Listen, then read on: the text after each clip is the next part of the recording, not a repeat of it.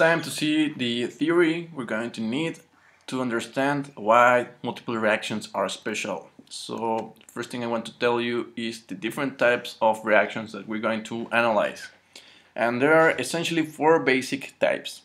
I will I don't know why the books uh, order is this series parallel complex and independent because of course the one you know already is the independent one. Uh, I'm going to explain it in the next slide, so don't worry. Just know that there's a series a uh, reaction, parallel reaction, complex reaction. Actually, complex is just these two guys at the same time. Independent is that none of these happens. And they may occur either alone, in pairs, or all together. So it's, let's see the parallel reactions. You have at least two reactions, of course. This is multiple reactions. If you were to have only one, well, this wouldn't work and they're competing or let's say uh, playing with them. You have maybe a actually here. You have a plus b and you have this k constant rate will form to c. And you have at the same time that a may also react with two moles of d and it will have a constant here and will form e. And maybe you want c because it's I don't know maybe it's very high cost and e will eventually take you money to separate. So you want, of course, to maximize C, minimize E. The thing here is that the reactant is being consumed by two different pathways, the first reaction and the second reaction. An example is here, ethylene, ethylene here, you have the oxygen here, and you could either produce this molecule, or two molecules, which has a lot of price or at least industrial value, and CO2 and H2O, which is probably you know it by combustion. You know that burning stuff generally is not that nice. Only if you want energy, but this will not be cheap energy because this is very precious material. Actually, you can use it for many other things, so I wouldn't recommend this. And that's why you want to maximize this, at least you can sell this or make it into another very precious product and yes, essentially it's that the parallel reaction. We have also the series reaction, which is also known as the consecutive reaction because you have A and B produce C, and at the same time C is going to produce C. Or maybe, uh, no, yeah, it's okay. Or maybe B turns out to be E. So eventually you're going to have this like train, and you will pass from the one you want to one that you don't want. Uh, actually, if we wouldn't like C, we will call it intermediate, and if normal intermediate always turn out to be D, well, you don't, you just need to ignore it. You don't need to model it because A plus B go to the intermediate, which you don't care because eventually it will turn out to D. That will be no problem. But the problem is when you want to produce C and you know that C might turn out also to be D. So that's when you need to take care Okay, so an example is this here. You have this molecule and you add uh, ammonia. What you're going to do is you're going to break this and ammonia will go here.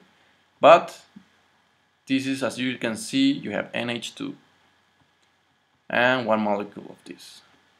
What happens if you still have that and you make it react? Well, you're going to have two molecules of this, but you will have, oh sorry, this is NH2, K3, let me balance it. This should be 2 and this should be 1 H. So you are dropping from NH2 to NH1 and this should be 2 molecules, sorry. And then what happens if you still do this? This is the D3, this mono, D and 3.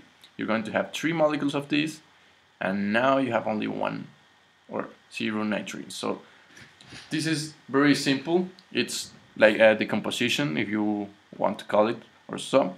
You have it here it will mix with this and probably you want I was reading that right now the market value of this one is higher of that one here and that one here. So you want this to be your product. You don't want the previous and you don't want the next one. So you want this exactly.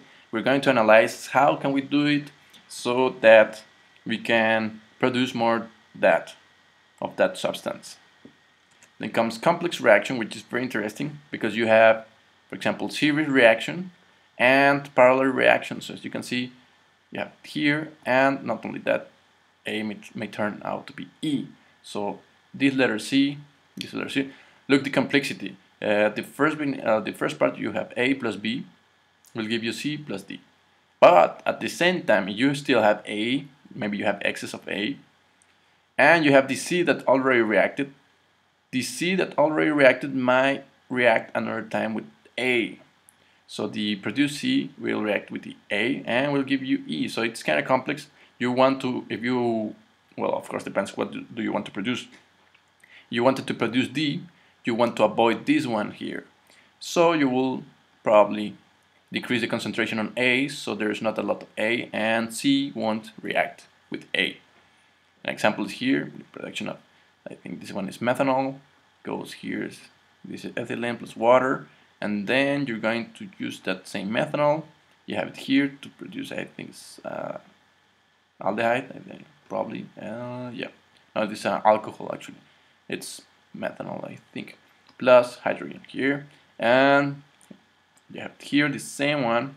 Might react with this other product. So look how the same uh, reactant produces product A and product B, and those products at the same time can react to give further reaction. So that's very tricky for the complex reaction. Actually, I will say that those are the most complex, as the name implies. And the last but not least, actually, uh, is the easiest multiple reaction that they don't interfere with each other. They don't react. So for example, A turns out to be B and C. And as you can see, B and C never appears here. D turns out to be E and F. So you have no interference. They have their respective products and yeah, essentially you have no problems. That will be an example in maybe in a petrochemical company when you are cracking substances you have the 15 carbon molecule here and the 8 carbon molecule here which is octane then you crack them and as you can see there's no problem you have independent reactions so yeah we've seen the type of reactions we're going to analyze what's a desired product which is obviously the one we want and the non-desired product in the next video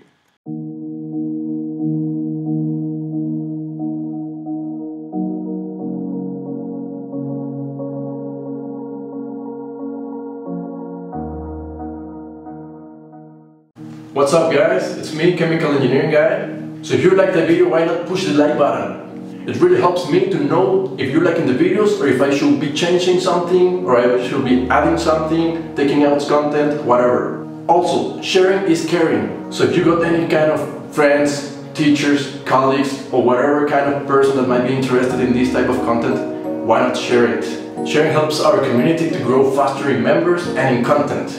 If you want to keep track of my activity, videos, uploads, experiments, playlists, whatever content I'm getting on YouTube, be sure to click the subscribe button. Subscribing to the channel is totally free guys.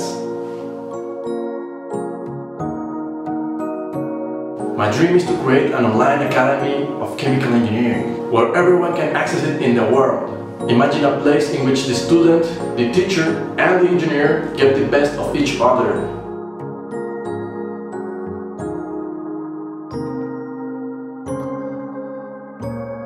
Thank you, thank you, thank you guys for the support and the love.